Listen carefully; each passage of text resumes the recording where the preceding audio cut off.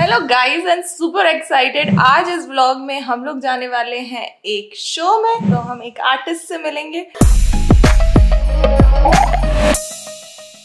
Guys and welcome back to yet another vlog मतलब इस video में जो है वो व्लॉग होगा और इस व्लॉग में मैं आपको दिखाऊँगी जर्मनी की एक ऐसी बात जो मैं पहली बार जो है यहाँ पर जा रही हूँ, क्योंकि मैं म्यूनिक में शिफ्ट हो गई हूँ, आपको पता है।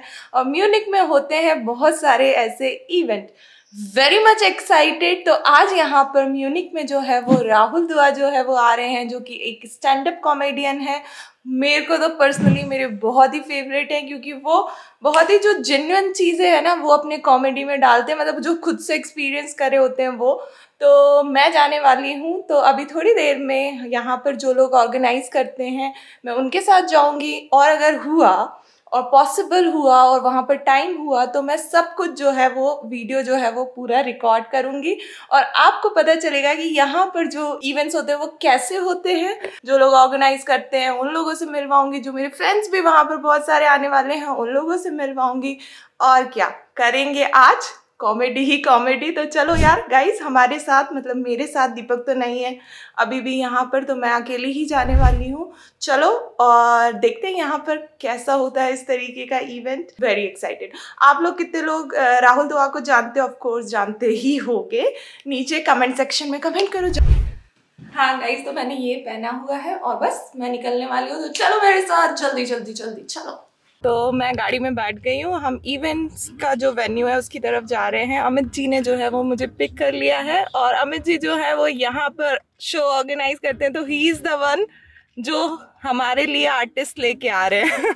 हम जैसे ही पहुँचेंगे, बाहर निकलेंगे तो थोड़ी सी बात करेंगे और वहाँ का वेन्यू का जो भी, जहाँ भी ऑर्गेनाइज करा है वो देखेंगे। मैं बहुत ज़्यादा एक्साइटेड हूँ क्योंकि मैं पहली बार यहाँ पर ऐसा कोई शो देख रही हूँ।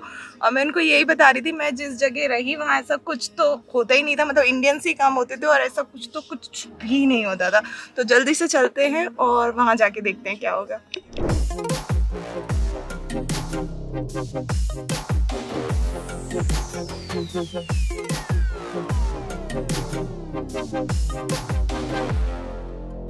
ऐसे ऑर्गेनाइजर वाली फीलिंग आ रही है मुझे कि हाँ चलो यार, कुछ तो हो रहा है।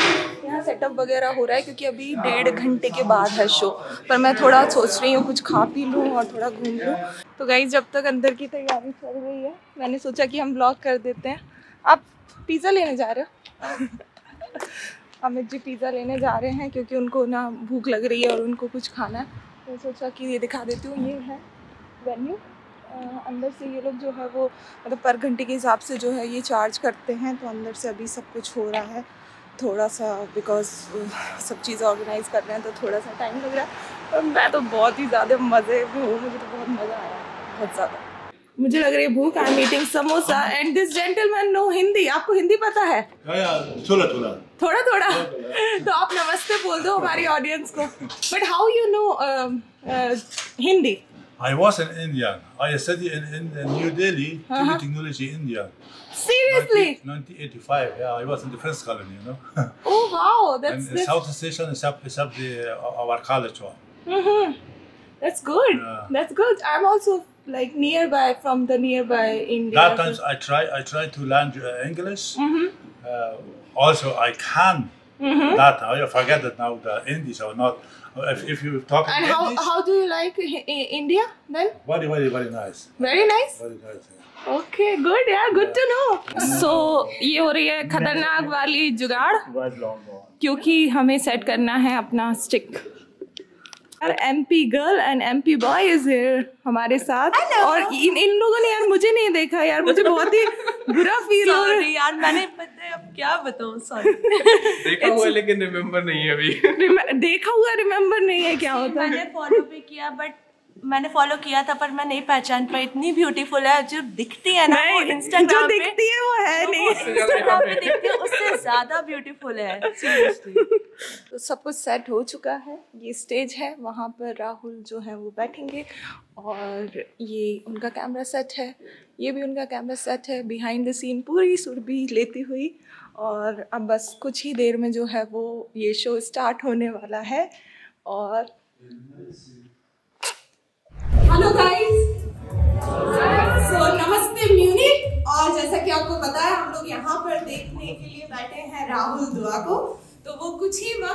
आने वाले हैं, पर सबसे पहले मैं चाहती हूँ आप बहुत ही तेज़ी से तालियाँ बजा दें।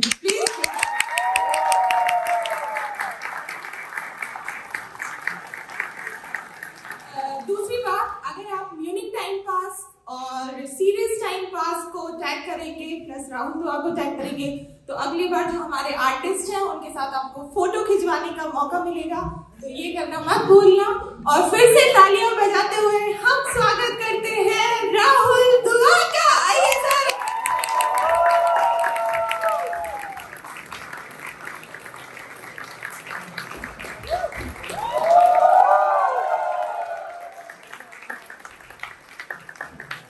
हेलो हेलो साली चाय नहीं पी नो दे। क्या हो रहा है? ये हो रहा है व्लॉगिंग व्लॉगिंग खेलते हैं हम। Indian girl in Europe Indian girl in Europe you you are not alone. Not alone.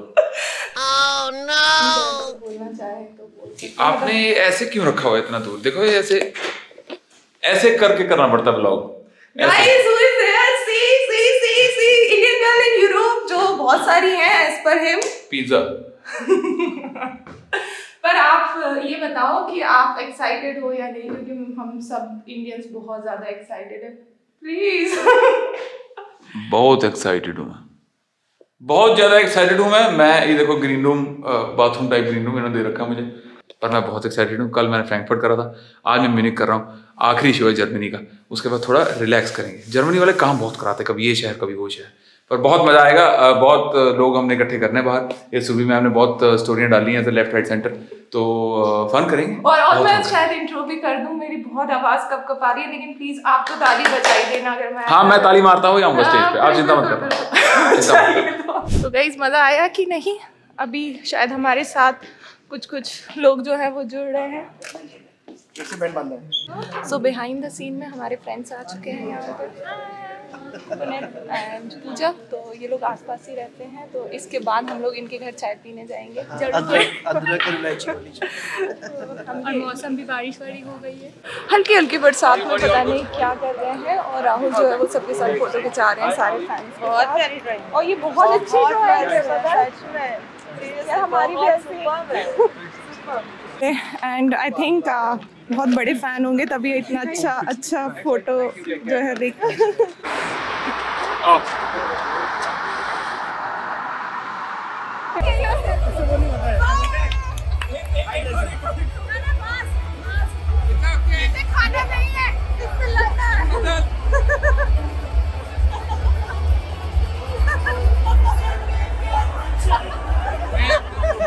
Like share subscribe कर दें ताकि इनको बहुत खुशी मिले लाइफ में। Yes thank you so much लेकिन